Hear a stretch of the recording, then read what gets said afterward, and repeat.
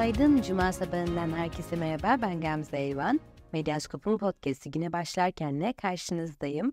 Türkiye ve dünyanın gündemini sizlere aktaracağım. Hazırsanız başlayalım. AKP Genel Başkanı ve Cumhurbaşkanı Recep Tayyip Erdoğan Bursa'da olacak. Erdoğan, AK Parti Bursa İlçe Belediye Başkan adayları tanıtım toplantısına katılacak. Cumhuriyet Halk Partisi Parti Meclisi Özgür Özel Başkanlığı'nda saat 18'de toplanacak. Parti öncesi MYK'da bir araya gelecek. Geç saatlere kadar sürmesi beklenen PM toplantısında kalan adayların pek çoğunun açıklanması bekleniyor.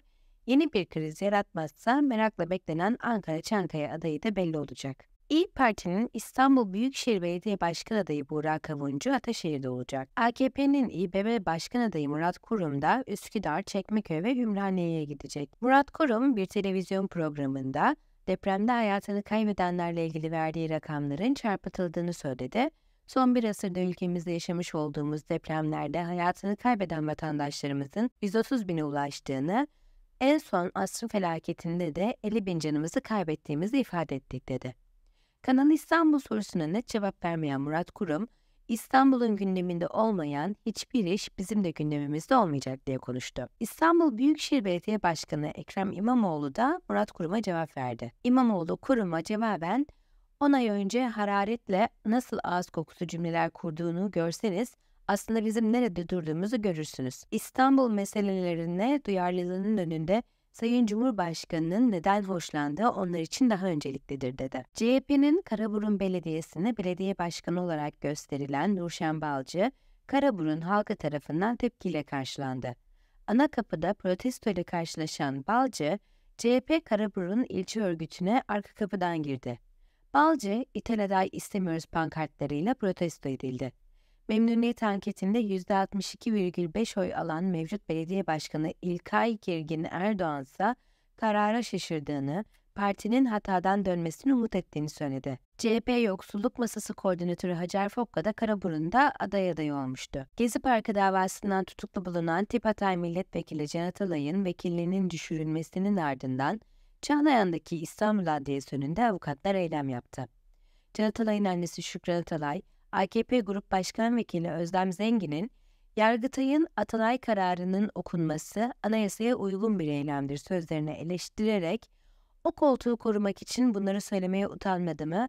Korkmuyoruz, itaat etmiyoruz, Can'ın en ufak suçu yok dedi. Avukat Akçay Taşçı ise Can Atalay'ın hala hapiste tutulmasına tepki göstererek eğer Can Atalay seçilmiş bir milletvekili olarak, eğer Hatay halkının bir milletvekili olarak tutsaksa esirse bu doğrudan ve doğrudan hepimizin sorumluluğudur, yüküdür diye konuştu. Türkiye Büyük Millet Meclisi Başkanı Numan Kurtulmuş, Birleşik Arap Emirlikleri ziyareti dönüşü yaptığı açıklamada, Can Atalay'ın vekilliğinin düşürülmesi kararının mecliste okunmasını değerlendirdi.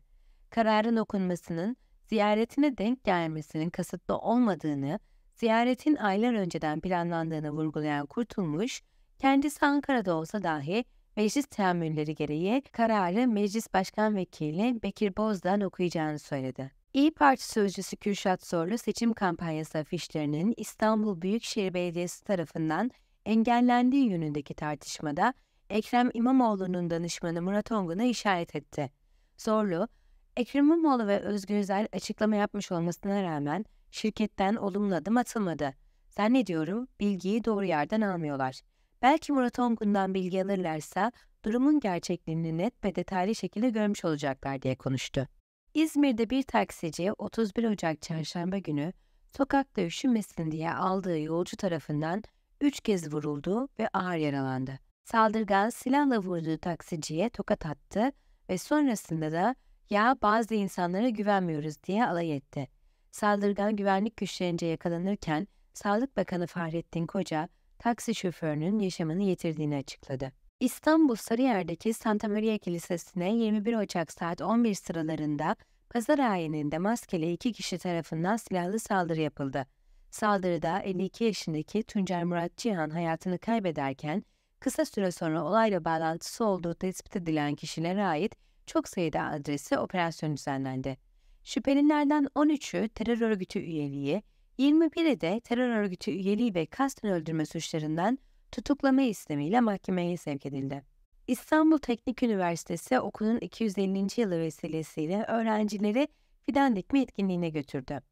Öğrenciler Muğla Milas'a gittiğinde okul tarafından herhangi bir bilgilendirme yapılmadan Akbelen Ormanı'nda ağaç kesen Yeniköy Kemerköy Termik Santrali'ne götürüldü. Santrale götürünce durumu fark eden öğrenciler yaşananları şaşkınlıkla karşıladı.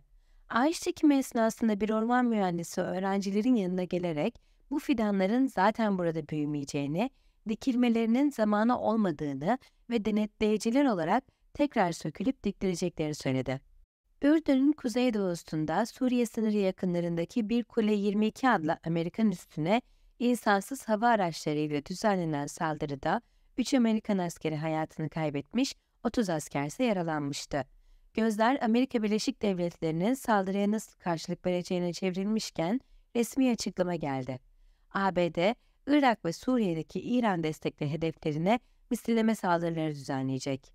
Hamas'ın 7 Ekim'de İsrail'e düzenlediği Aksa Tufanı operasyonu ile başlayan ve İsrail'in verdiği cevapla büyüyen Hamas-İsrail Savaşı'nda 189. gündeyiz. Gazze'de son yılların en büyük insani krizine dönüşen savaşta yeni bir ateşkes ihtimali ortaya çıktı. Beklenen açıklamayı Katar yaptı. Katar Dışişleri Bakanlığı tarafından yapılan açıklamada Hamas'ın Gazze'deki çatışmaların bir süre durması ve esir takasını içeren ateşkes anlaşmasına ön onayı verdiği belirtildi. İsrail'in de ateşkesi olumlu baktığı ifade edildi. Gün içinde gündemi takip etmeye devam edeceğiz. Medyaskop'u sosyal medya hesaplarımızdan ya da web sitemizden takip edebilirsiniz. Ayrıca bize Patreon veya YouTube'un katı butonu üzerinden de katkıda bulunabilirsiniz. Pazartesi görüşmek dileğiyle, hoşçakalın.